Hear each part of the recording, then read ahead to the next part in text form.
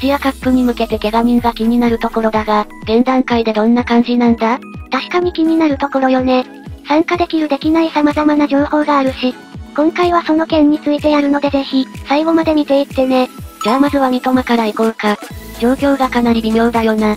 大会期間中には治るような話も出てるが、アジアカップに参加できるかどうか微妙すぎる。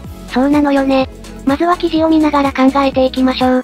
12月28日、英国ではプレミアリーグの第19節が前日に引き続き2試合行われ、日本代表ミッドフィルダー三笘薫26が所属するブライトンはトットナムと対戦。三笘は前節クリスタルパレス戦の後半37分に足首を負傷して交代。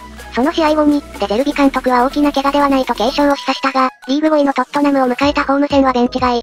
完全に戦線離脱した。問題はこの怪我がどのくらいのものか？って点だよな。そう。その診断結果がまた微妙な期間でね。三笘は味方のホーム戦解消を観戦。試合後にフォワードソン・フンミンとポステコブルー監督と懇談するために、ミックスゾーンの前を低く姿で通り過ぎたが、怪我の具合を聞かせてという問いにダメですと釣れない返答。足首を気にする素振りは見せず、普通の保養でスタジアムを去った。ここだけ聞くと普通に歩いてるし、そこまで長引く感じはしないが、試合後にデゼルビ監督はこう話していたわ。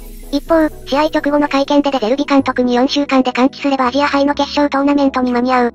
その可能性はあるか？と改めて尋ねると、私も4週間以内で治ってほしいと思うが、ブライトンのメディカルチームが4、6週間と診断したと説明。さらに、カオルがアジア杯でプレイできればいいと思う。しかしそれはわからないと続けて、三笘のアジア杯出場の可能性については明言を避けた。これななんとも微妙な診断結果だよな。アジアカップに間に合う可能性もあるし、間に合わない可能性もある。ちょうど五分五分みたいな。そうなのよね。どっちも可能性がある微妙な結果になったからみんなの反応も様々よ。言い換えればそのくらいの怪我であってほしいところでもあるが、アジア杯が始まった直後に幸い思ったほどではなかった泡思いのほか回復が早かったとか言って、その時間帯にしれっとリーグ戦に出場する予感も正直ある。これ確かにちょっと思ってしまったな。なんならこの微妙な診断結果も駆け引きのように感じてしまう。私、性格悪すぎだな。でもその辺も色々考えてしまうところではあると思う。とりあえず代表のメディカルを派遣してちゃんと診断した方がいい。それぐらいブライトンのメディカルは信用できないし、彼らの判断だけで代表の招集を妨げるなら、その期間内にブライトンの試合に出場させた場合、JFA は断固抗議してほしいね。多くのコメントでブライトンのメディカルは信用できないというものが多かったのも特徴ね。色々疑っちゃうようなことあったもんな。ソン・フンミンとポステコブルー監督と懇談の方が気になる。確かにこれ色々憶測が飛び交うようなものよね。しれっと書いてあるけど、懇談って言っても色々あるしな。3人だけでやるなら色々考えちゃうよな。まさか遺跡とか。まあ、それは今回の話とは関係ないから。で、別記事ではアジアカップに間に合う可能性との報道もされていたわ。左足首負傷のミッドフィルダー三笘薫26ブライトンが、日本代表として臨む来年1月12日開幕のアジア杯カタールに間に合う可能性が出てきたことが28日、分かった。三笘は21日のイングランドプレミアリーグ、クリスタルパレス戦で負傷。試合後は左足をプロテクターで固定し、松葉杖姿でスタジアムを後にしていた。デデルビ監督44は27日の会見で、4、6週間離脱することを明かすなど状態が心配されていた。だが、すでにウォーキングを開始するなど順調に回復。幹部の痛みも収まってきており、所属チームの許可が下りれば、本人は参加に前向きだという。今後の回復次第とはいえ、負傷後5週を経過する1月28日からの決勝トーナメントで復帰することは十分に考えられる。23日には自身のインスタグラムを更新し、少し離脱になりますが、また強くなって帰ってきますと記していた。三笘の合流が実現すれば、日本の3大会ぶり5度目の優勝へ、大きな追い風となる。うん。もう幹部の痛みが収まってきてるのに4、6週間かかるのか？そこら辺は専門家じゃないからわからないけど、思ってたよりも状況は良さそうよね。専門家じゃないから確かにわからんけど、やっぱり違和感があるんだよな。でも安心して。その違和感はみんな同じみたいだから。ユーロはウェファからクラブ側に保証金が出るらしいけど、アジア杯は保証金が出ないらしく、アジア杯はクラブにとって何のメリットもないんですよね。だから、なんとかして三笘を出したくないのがブライトンの本音で、デゼルビも少し誇張して4、6週間の離脱と言ったのかも。どちらにせよブライトンのメディカルは信用できないから、代表に呼んだ方が順調に回復する気がする。みんなブライトンのメディカル信用してないの笑う。そうね。それもあってやっぱり疑わしいのよね。やはりね三笘をめぐるデゼルビブライトンと森保監督 JFA の痺れるような駆け引きはここいらで幕引きでしょう適切な診断と治療休養を与えるために招集し、グループステージの2戦目以降から様子見で出す。日本側はこの可能性を模索中で、ブライトンは果たしてこれに折れるかどうか決着がつくまでの数日間はいささかのスリルを味わえそうです。個人的な考えとしては、確かに駆け引きはあると思う。ただ、ブライトン側に拒否権はない。そう。だからブライトン側ができるのは三笘は大会期間中完治できないので招集できないと、思わせることじゃないかしら。決定権は JFA だから、JFA が招集すべきじゃないと判断させるしかないというわけだな。あくまでも私の憶測だ。おそらくデゼルビの発言は三笘をアジアカップに行かせないための駆け引き。三笘のことを考えて、三笘のコンディションのことを考慮すれば間違いなく代表に招集すべき。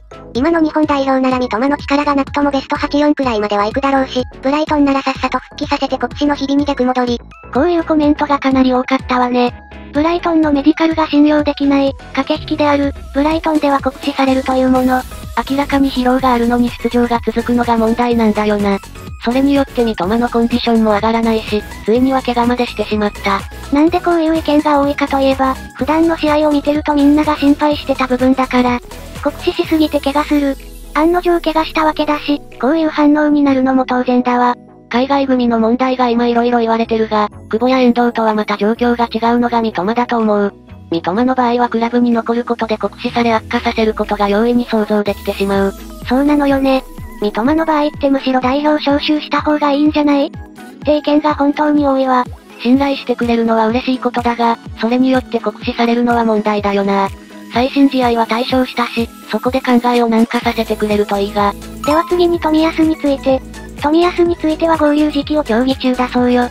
イングランド一部アーセナルを率いるミケル・アルテタ監督は、12月27日の記者会見で所属する日本代表ディフェンス富安武宏の状況について説明。アジアカップに向けて合流時期は日本サッカー協会 JFA と話し合っているとした。富安はアジア杯、パーティはアフリカネーションズカップを控えるが、その大陸選手権前の復帰が実現する可能性についてチャンスはある。様子を見てみよう。トレーニングに復帰できていないのでまだ遠いが、正しい方向に進むことを願っているとコメントした。サッカーあるある。様子を見てみよう。また、彼らの代表合流時期についてアルテタ監督は現時点では、連盟日本は JFA といくつかの話をしている。どのタイミングがベストなのかは、まだ決定していないと話した。カタール開催のアジア杯、日本の初戦は来年1月14日になる。決勝が2月10日という約1ヶ月のトーナメントだが、富安が復帰、合流するタイミングがいつになるのか注目される。ということで聞いた感じだとアジアカップに行くのが前提みたいな感じだけど、富安が怪我明けでこういう大会ってのはかなり危険に思うわね。確かに聞いた感じだとアジアカップ招集前提で、それがいつになるか？ってとこの話をしてるように思うが、レイムが言うように富安をここで起用するのはかなり危険に思う。富安の場合は慢性的な怪我のリスクがあるし、ここで無理させるのはかなり危険だと思う。もちろんいてくれればこれほど頼もしい選手もいないんだけど、例えばここで怪我の再発があって、それによってこの先失うものは計り知れない。個人的には招集を一番慎重に考えてほしい。怪我で苦しんでる選手だからな。本当にね。ようやく治ったと思ったらまた。ってのを繰り返して本当に苦しんでる選手だからこそ、慎重に考えてほしい。みんなの意見も聞いてみようか。休んでくださいアジア杯も大事だがアーセナルの首位攻防の大事な時期も待っていてさらには CL まで控えておりあまりにも過密スケジュールすぎる。再発防止のためにも万全な状態に戻してほしい。